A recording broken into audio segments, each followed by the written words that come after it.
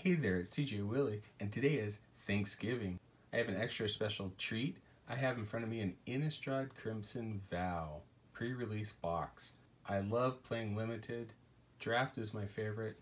I also like to play sealed. I'll go ahead and crack open the packs, and then I'll put together what my sealed deck would look like.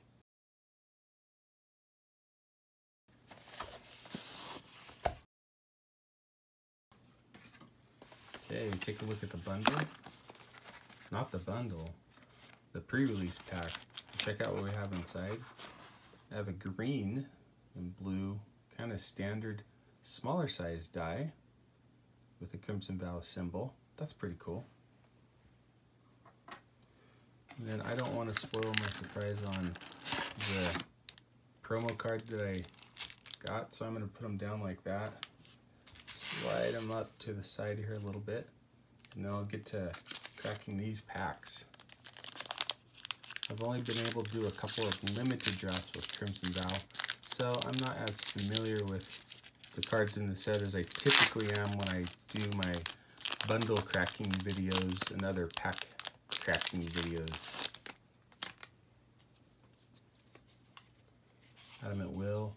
I like the showcase cards in Crimson Vow a little bit more than the Midnight Hunt. Kind of go slow through the commons this time around. Can't believe they reprinted the same card that was just in Midnight Hunt.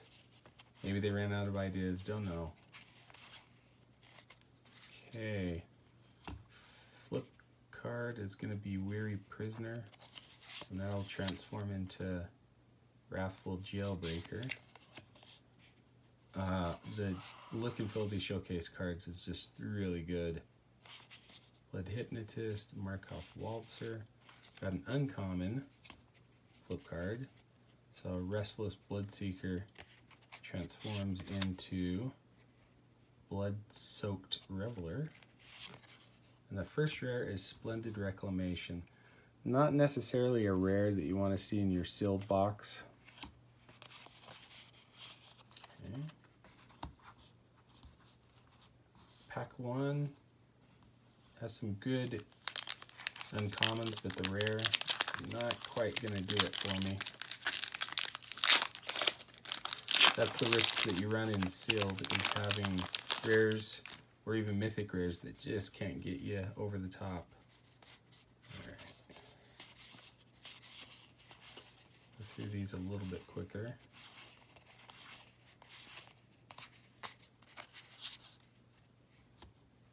Hookhand Mariner transforms into Rip Hook Raider. Uncommons Edgar's Awakening, Crawling Infestation, Catapult Fodder transforms into Catapult Captain. Nice. This is what you want to see in your sealed box. A Mythic Cemetery Protector. Definitely be a card that I can look to build around.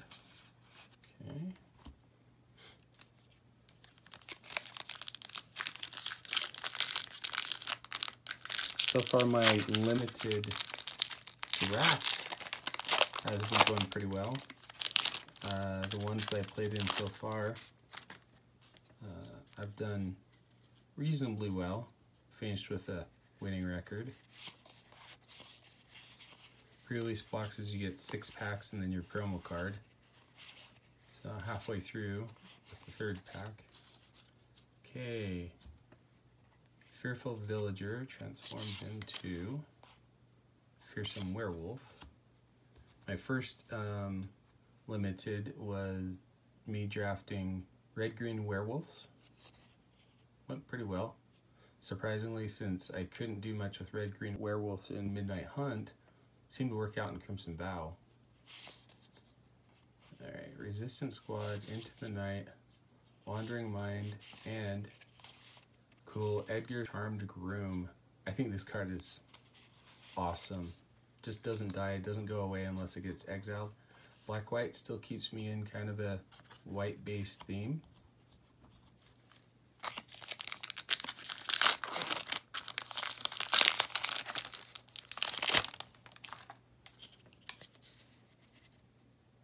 Can't get over how cool those showcase cards look. Looks like I've got something cool coming up. Try not to spoil it.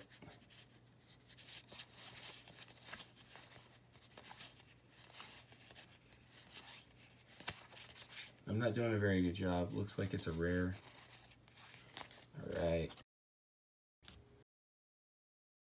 Kindly Ancestor flips into Ancestor's Embrace.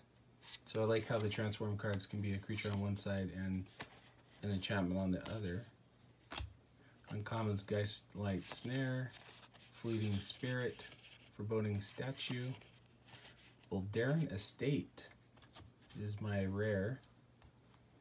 This could be useful if I want to splash another color and vampires are in white and black and red. And then my foil card is a foil rare, Katilda Dawnhart Martyr. So it's in white. So far it looks like I'm going to be white based.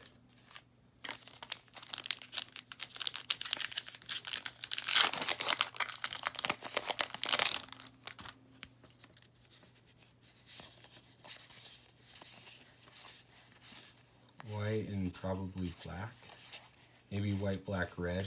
Mardu. Binding Geist. Transforms into Spectral Binding. Cloaked Cadet.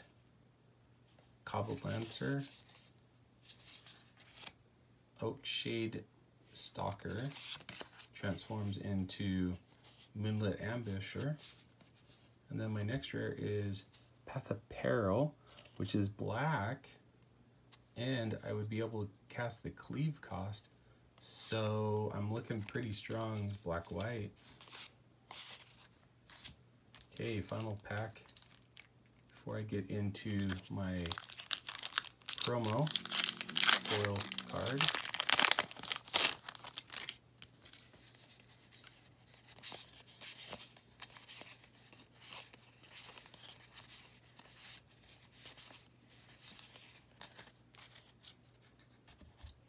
Ragged Recluse transforms into Odious Witch. Geistlight Snare. Arm the Cathars. Alluring Suitor. Uh, this card surprisingly has done pretty well in my drafts. Deadly Dancer. And then my rare is Investigator's Journal. So maybe a way for me to get card draw. Black-white, maybe I can go kind of wide with some tokens and then that gives me the ability to draw some cards and then eventually be able to sacrifice it and draw a card. Alright, gonna check out my promo foil and see, I'll save that for myself. I don't know, maybe I'll give it away since I don't really play that much on Arena. Oh, uh, this is way awesome, the deck kind of spacer thing. Set that there, maybe on top of those. All right. Before I look at my promo foil, take a look at this. The Binding Vows of Olivia Voldaren and Edgar Markov. These are always pretty cool inserts in the pre-release boxes. Okay. What did I get?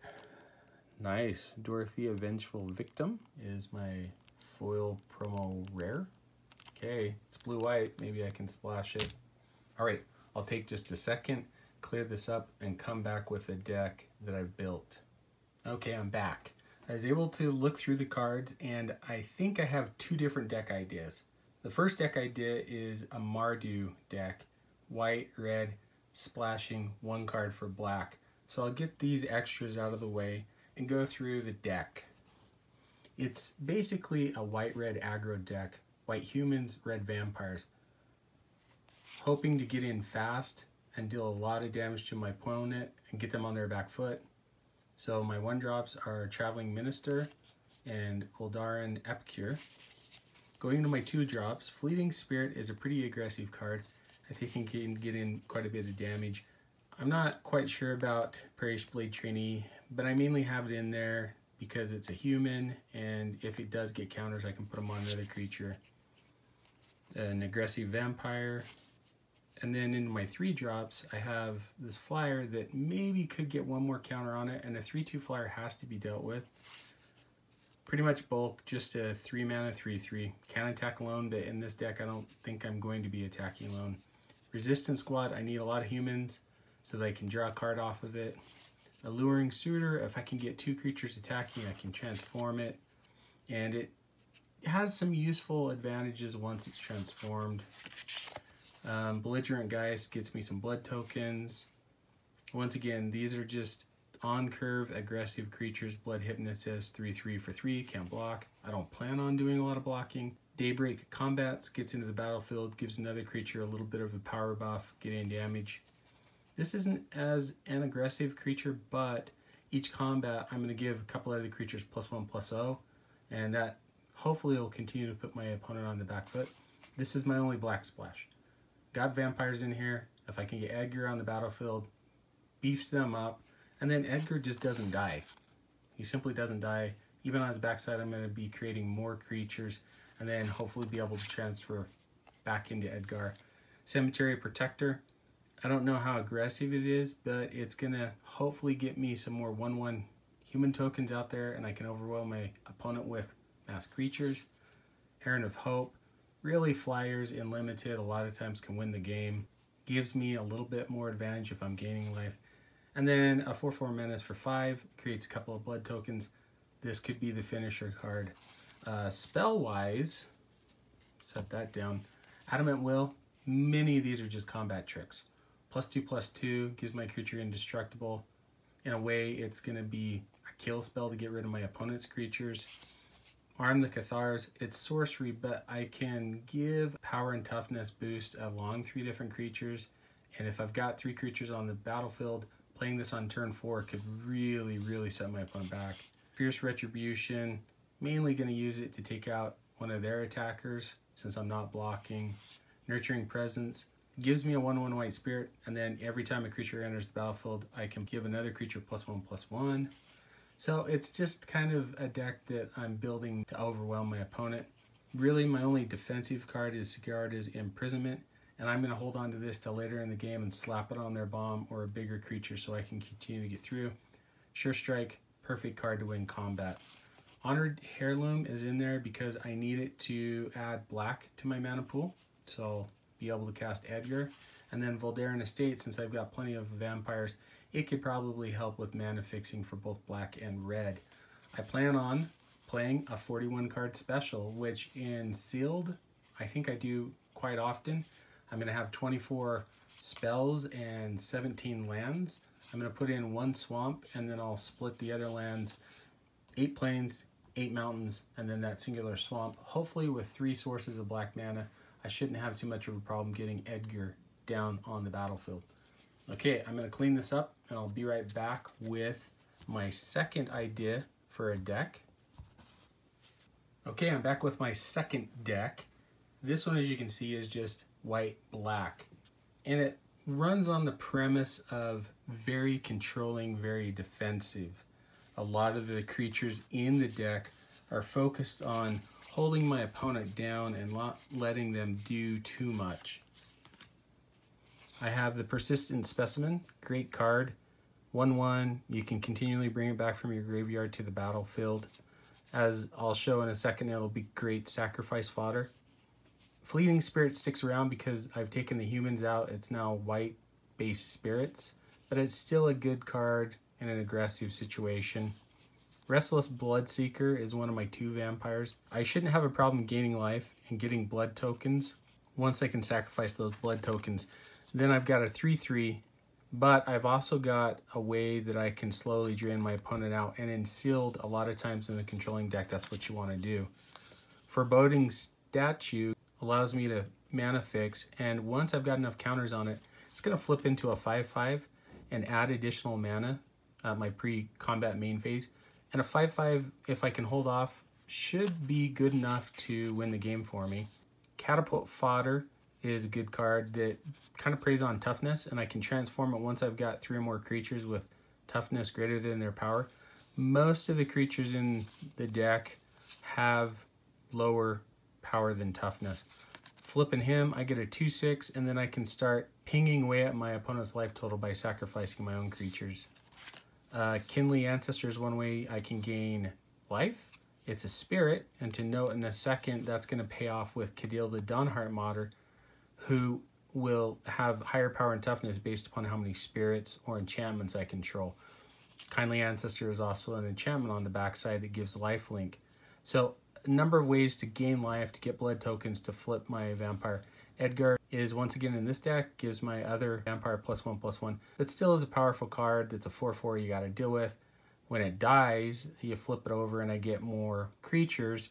And then once I've got three 1-1 white and black vampires, I can flip Edgar. Cemetery Protector, it's a mythic. It's a good card. Flash it in. It's the only human in the deck. Heron of Hope, once again, gains me life. Rot-Tide Gargantuan. I've got plenty of things to sacrifice that are smaller. They can make my opponent sacrifice one of their creatures. And then I've got these two big fatties that just hold off the ground and I can tap down my opponent's creatures. Now into my spells that are focused on taking care of my opponent's creatures. Very controlling. Destroy target attacking creature, or if it's later in the game, I can just destroy any creature. Sigarda's Imprisonment, you know, is enchantment that will hold down their bomb. Bleed Dry takes out just about any creature I can think of unless they get hexproof. Grisly Ritual is another way to get a couple of more blood tokens. It destroys any creature or planeswalker. Blood Fountain gives me a blood token when it enters, and I can sacrifice it and return two creature cards from my graveyard to the battlefield. Edgar's Awakening allows me to get one of my creatures to the battlefield. Sorry, Blood Fountain gets them into my hand. And then this is kind of my coup de grace. If things get too crazy, I can just wipe the board. The spells to bring back creatures, then I can re-establish my board. Hope you enjoyed the video. If you did like it, please subscribe and share. Tell me which deck you prefer. Is it my Mardu deck, splashing black for Edgar Charmed Groom? Or is it my controlling white-black deck? Until next time when I'm back to crack some more Magic the Gathering.